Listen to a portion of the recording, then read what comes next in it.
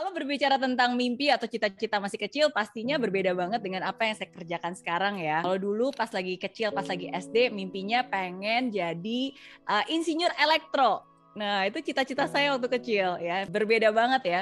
Um, dan akhirnya ya udah akhirnya bisa menjadi seorang entrepreneur dan pas lagi ketika saya menjadi seorang entrepreneur di Singapura pun waktu itu juga nggak pernah kepikiran bakalan menjadi seorang motivator atau motivational speaker hmm. gitu. Hmm. Nah tapi kan akhirnya ya hidup membawa saya um, apa ya melakukan lebih banyak hal jadi dari entrepreneur jadi motivational speaker dan sekarang jadi content creator jadi investor sampai hari ini gitu. Jadi um, ya itulah hidup ya dan saya suka banget dengan tema hari ini tentang growing karena ya sometimes kita nggak akan pernah tahu uh, hidup itu akan membawa kita ke mana tapi hmm. as long as we keep learning, we keep doing, we keep growing, ya akhirnya hmm. ya hidup akan memberikan kita sesuatu yang nggak pernah kita bayangkan dan membawa kita ke tempat-tempat yang nggak pernah kita imajinasikan. Hmm. Tapi ya di sinilah kita bisa berada.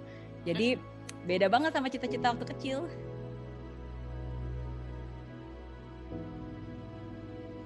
Um, jadi kalau saya bisa cerita, mungkin biar gampang saya bagi menjadi tiga dekade ya. Hmm. Jadi dekade pertama itu dekade ketika saya uh, usia 20 tahunan, masih remaja. Jadi pada saat itu uh, lulus SMA uh, 18 tahun terus tiba-tiba ada kerusuhan hmm. ya kan dan akhirnya ya udah saya melanjutkan pendidikan saya kuliah di NTU Nanyang Technological University Singapura dan akhirnya saya lulus sebagai sarjana teknik elektro jadi hmm. melanjutkan emang cita-cita saya waktu kecil yeah. ya kan? Nah tapi dari situ ya akhirnya uh, saya punya keinginan untuk bisa menjadi entrepreneur. Tujuannya waktu itu jadi entrepreneur sebenarnya satu sih saya pengen cepet-cepet bisa bayar hutang. Pengen punya kebebasan finansial pengen bayar hutang nggak bebani orang tua. Dan saya tahu pada saat itu menjadi entrepreneur ya saya punya banyak kesempatan gitu. Nah, um, tapi pada saat itu kan karena nggak punya background, nggak punya pengalaman gitu kan, jadi ya banyak banget jatuh bangunnya, banyak mencobanya, banyak gagalnya. Jadi uh, nggak uh, punya modal, nggak punya kenalan, nggak punya keterampilan. Tapi yang pada yang satu saya punya sungguh-sungguh cuma keberanian, waktu dan tenaga gitu. Dan akhirnya ya udah itu yang saya lakukan. Uh, saya akhirnya membangun bisnis uh, pertama saya yang berhasil, yang gagal banyak yang berhasil akhirnya di bidang jasa keuangan, di bidang uh, financial service industry dan di situlah akhirnya kerja keras 14 jam tiap hari nonstop 7 hari selama seminggu dan uh, I've managed to achieve my first million at the age of 26. Nah, jadi itu dekade pertama ya 20 tahunan. Terus uh, dekade kedua itu berarti ketika usia 30 tahunan. Um, nah jadi kalau dulu 20 tahun berawal dari sebuah mimpi, ya karena tadi mungkin saya lupa cerita ya. Jadi di saat susah, ya pokoknya saya cuma punya mimpi, saya pengen bayar hutang, punya kebebasan finansial, pengen jadi orang sukses yeah. gitu. Dan akhirnya udah berhasil. Nah di uh, dekade yang 30 tahun itu ya mungkin awalnya dimulai dari akhir-akhir tahun 20 20-an ya. Karena kan udah berhasil tuh achieve million at the age of 26 uh, hidup enak, uh, bisa berhutang gitu kan, hidup nyaman, dikenal. Cuma ada satu hal yang saya rasakan berbeda. Saya ngerasa kok kayaknya lebih semangatan dulu ya uh, ketika masih susah gitu dibandingkan sekarang ketika hidupnya nyaman gitu. Dan di situlah akhirnya saya sungguh-sungguh sadar bahwa uh, ya yeah, there's more in life gitu instead of just achievement. Bukan hanya materi gitu kan tapi ya apa yang membuat hidup ini berarti.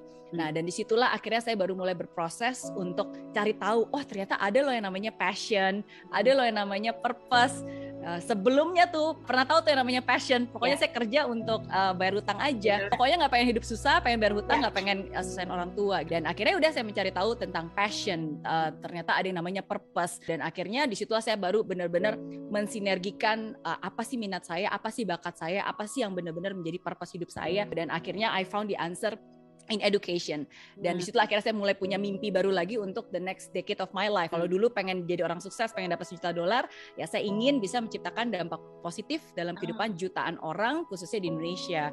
Dan akhirnya udah dimulai perjalanan baru dari Singapura 16 tahun di sana kembali ke Indonesia mulai lagi dari nol mulai dari garasi gitu terus ya udah kita buat awalnya uh, Life Academy ya um, my passion is education especially personal growth Nah hmm. dari situ akhirnya kedua kita buat buat kids and teens, buat anak-anak, dimulai dari event, camp, akhirnya ternyata tractionnya bagus, banyak minatnya, ya udah dari camp akhirnya jadi learning center. Dari learning center, um, Merira Learning Center dari satu cabang, puji Tuhan sekarang ada 11 cabang gitu. Dan akhirnya ya udah di situlah berkembang. Dan dari personal growth pun juga bukan hanya dari segi bisnis ya, uh, karena saya pengen semua orang bisa punya akses, makanya saya juga bikin konten-konten yang free Makanya lewat buku, film, YouTube, ya jadi mereka semua tetap bisa mengakses personal growth education itu tapi secara free juga. Itu ya udah itu dekade 30 tahun. Nah, dan akhirnya yang sekarang nih memasuki dekade baru uh, di sinilah yang awalnya mungkin sebuah ketidaksengajaan punya mimpi di usia 20 tahun akhirnya saya lanjutkan usia 30 tahun sekarang ini menjadi sebuah resolusi dan setiap 10 tahun sekali akhirnya saya selalu punya uh, resolusi itu. Jadi uh, di ulang tahun saya ke-40 dua tahun yang lalu ya saya ingin uh, bukan hanya untuk menciptakan dampak positif di Indonesia tapi menciptakan dampak positif dari Indonesia uh, untuk dunia. Dan di situlah akhirnya saya berpikir oke okay, kalau gitu berarti harus harus scale nih harus yeah. diaccelerate nih. Nah akhirnya udah kita bikin uh, adventure. Jadi kalau dulu di bidang uh, apa education sekarang kita menggunakan teknologi juga. Dan sekarang kita juga uh, punya venture builder juga ya MDCO untuk membantu para UMKM to achieve their first million dollars company juga.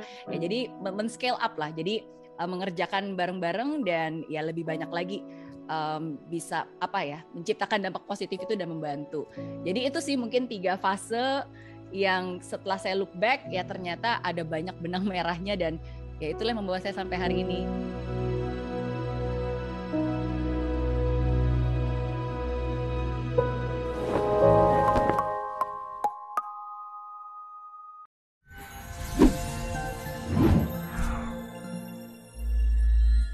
Di aplikasi Mary Riana tersedia lengkap video-video YouTube terbaru saya, artikel yang up to date, post inspirasi, koleksi merchandise, workshop dan seminar yang bisa kamu dapatkan free dan download sekarang juga gratis.